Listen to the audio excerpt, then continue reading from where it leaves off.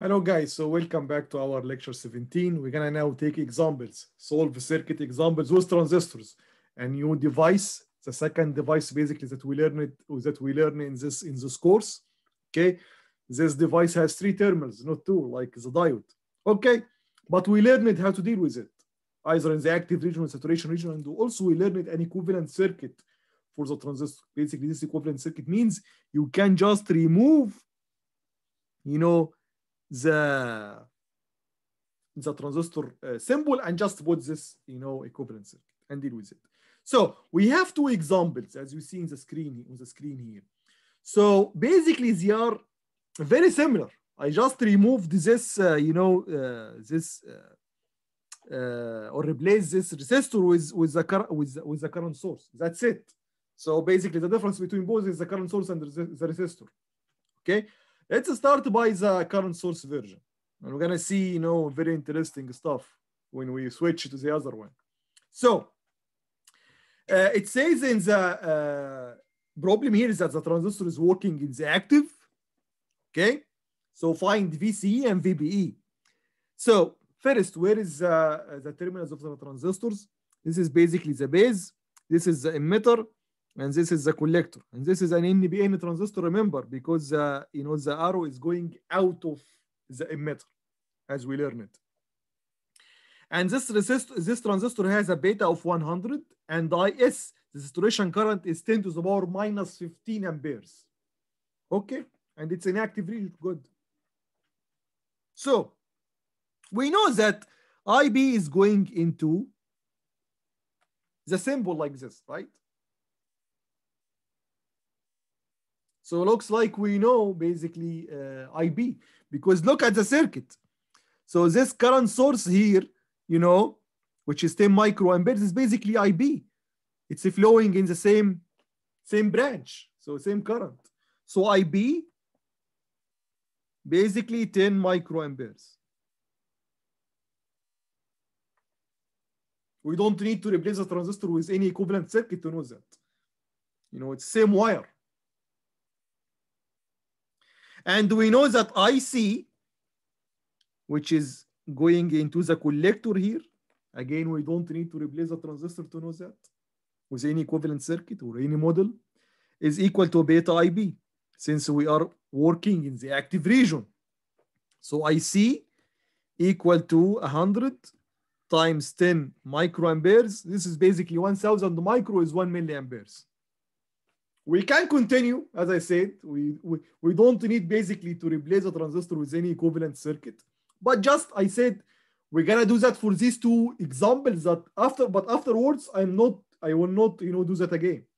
Because really it's easy to work, you don't need basically, you know, equivalent circuit. It's really easy to work with the symbol, but let's do that. Let's replace the transistor by uh, the transistor equivalent circuit. So we we uh, the procedure is to put first the terminals of the transistor and the equivalent circuit, then connect the rest of the circuit.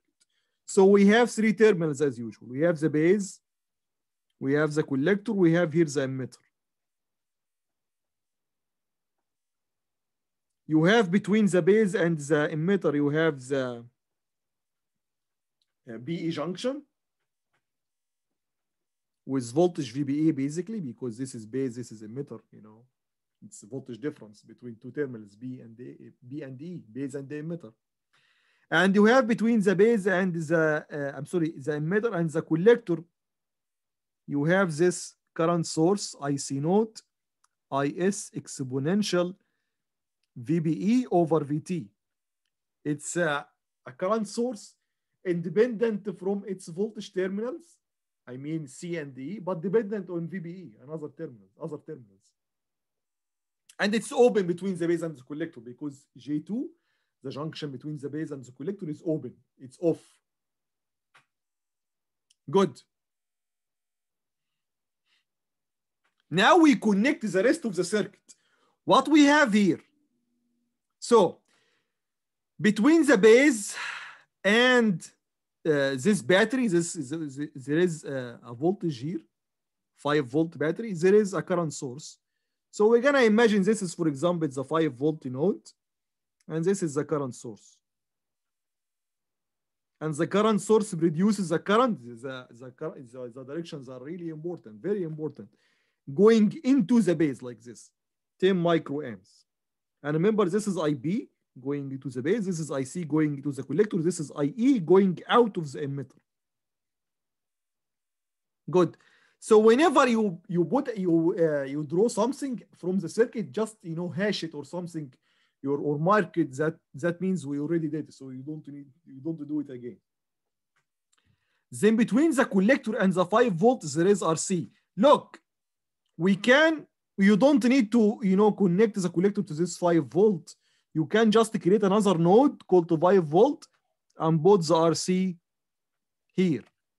Is this possible? Yeah, we, we knew from our circuit analysis uh, course that whenever you have two nodes in a circuit that have the same voltage, you can connect them to each other, you know. You know by default that they are connected. You don't need to put a wire between them. They are connected. You don't need to put a wire. So basically this node and this node are just shorted. Just forget about it. Don't, don't draw a wire. Don't mess up the, the plot here, the circuit plot. Good. So we, we bought also the resistor. Now the emitter is connected to the ground. That's really easy. Here is the ground here. That's it. We don't need anything else. Now where is IB? Uh, I'm sorry. Where is uh, this is IB guys. This is not IC. I'm sorry. Now where is uh, VBE? Where is VCE? Remember the, the the unknowns here are VCE and VBE. Okay, VBE voltage between base and the emitter. This is the base, this is the emitter. So this is basically VBE. I drew it before. Where is VCE? The voltage between the, the collector and the emitter, this guy. This is VCE. These are, these are our unknowns. Okay. And this node here is VC. This node here is VE. This node here is VB. Looks like VCE, which is basically VC minus VE, is equal to VC minus zero because VE is zero. It's connected to ground. Good. So VCE is just VC. If you calculate VC, then you get you got uh, VCE basically. Good. VBE is the same. VBE again is VB minus VE VB minus zero VB. Again, if you if you get VB, you get VB.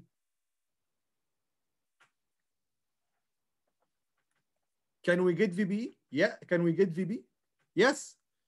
So we know that IC equal to IS exponential VBE over VT. This is what we learned.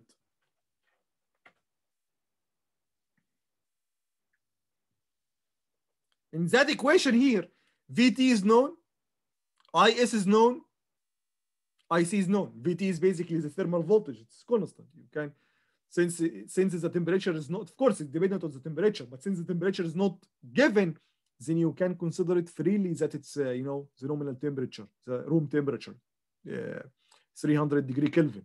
So VT will be 26 or 25 millivolt. Now we are studying from Sedra book. You know, so we, we studied the diode part from uh, Razavi's book. Now we are studying from Sedra's book. In Sedra's book, usually it as, he assumes uh, VT is 25 millivolt. Okay. So we're gonna go with that. We're gonna go with the 25 millivolt.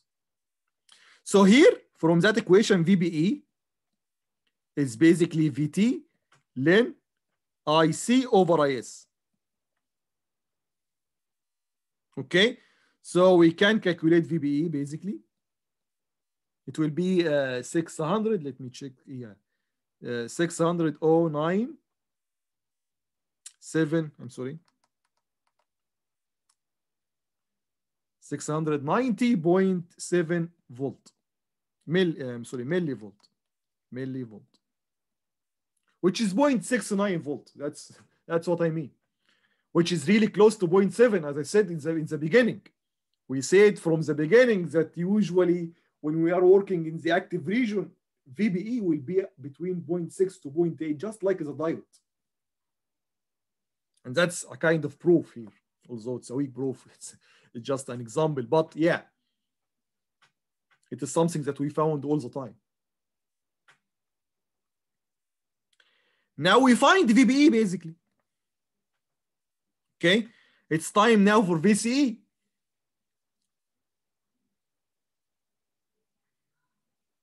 Remember this branch here has a current which is IC. So let's look at that branch. IC equal to, from that branch, equal to 5 minus VC, this point, over RC. Usually we call the resistance between the collector and the voltage, this maximum voltage in the battery, this battery voltage here 5, we call it RC. And also, you know, we always call this voltage VCC. The main battery source, the main voltage source, the main power source in our circuit, in BJT circuits, usually called VCC.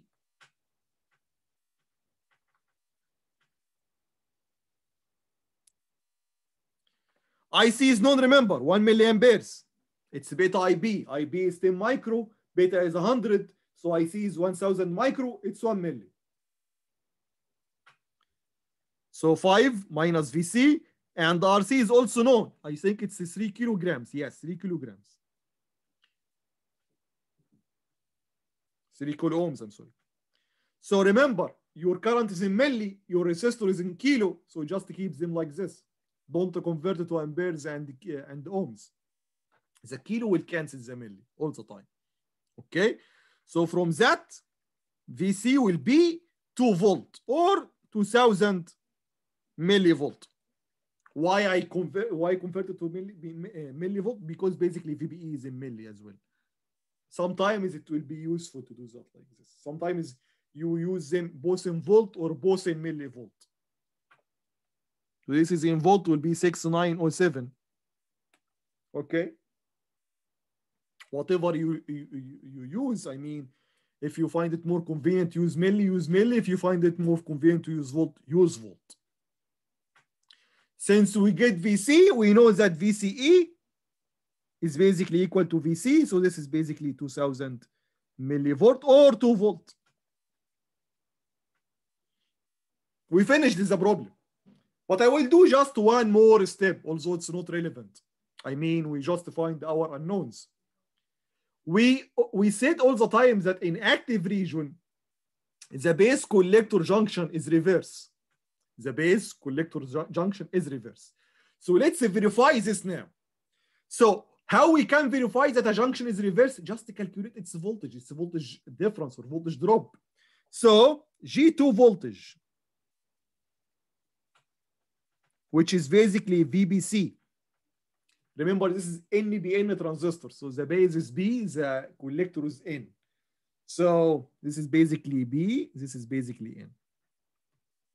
If this is off, it should be reverse or less than 0.4, you know. So this is basically VB minus VC. What is VB? It is uh, 0.6, or let's, yeah, 6, uh, 690.7 what is VC? It's 2000 millivolt. This is basically minus 1300, uh, around 1310, uh, around. Or 300, oh yeah, 1309.3 millivolt. In minus, of course. Look, it's minus. That means the voltage on the B side is less than the voltage on the N side. So it is uh, it is reverse bias. Reverse biased junction. G2 is reverse.